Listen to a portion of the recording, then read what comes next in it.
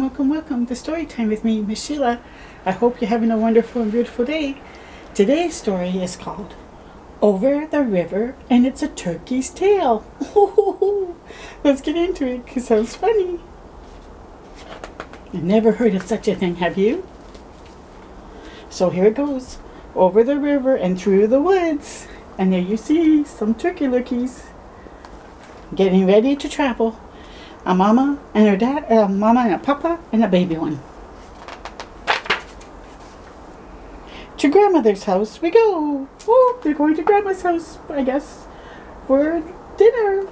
And look, look, I don't see that they see the little boy up there and the big dog. the horse knows the way to carry the sleigh. So there's the horse. And the baby is talking to him, Can you take us to Grandma's house? And there's the sleigh. I guess they're hoping to get a ride with him. Uh-oh. There goes the horse. he forgot the turkeys. He goes, Through white and drifted snow. Over the river and through the woods. Oh, oh. Dog doesn't look happy because the young boy is showing if we have this turkey, it can make it into a turkey dinner. And then we'll three bones that he could give to him. Uh-oh. Wants him to get them. Oh, how the wind does blow. Each of them spotted one another. Oh, let's see what's going to happen. It stings the toes and bites the nose. I think the dog is looking to go and bite those turkeys. As over the ground we go. Guess hopefully they're going to go into that barn over there. We shall see. Over the river and through the woods.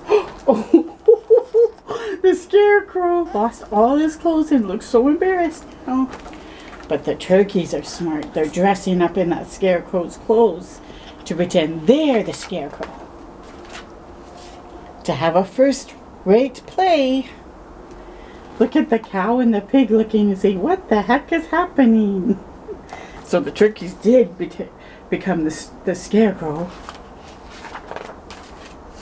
Oh, hear the bell ring, ring, ring, ring. There's the grandma and grandpa turkey. And there on the mailbox, if you look closely, it says the Gobblers. So that's their last name, the Gobblers. A ring a ting ting ting ting. There goes the bell. The turkeys go running. They get out of the scarecrow clothes. Hurrah for Thanksgiving Day! So Mama and Papa Bear, uh, Turkey and the baby get to the grandma's house, but so does the dog, almost. over the river and through the woods. So all the turkeys are together and the dog is there, but look what's happening here.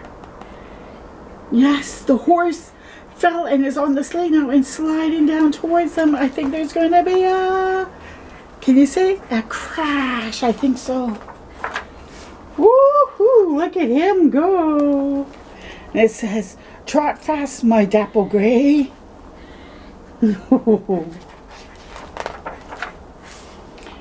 spring over the ground like a hunting hound.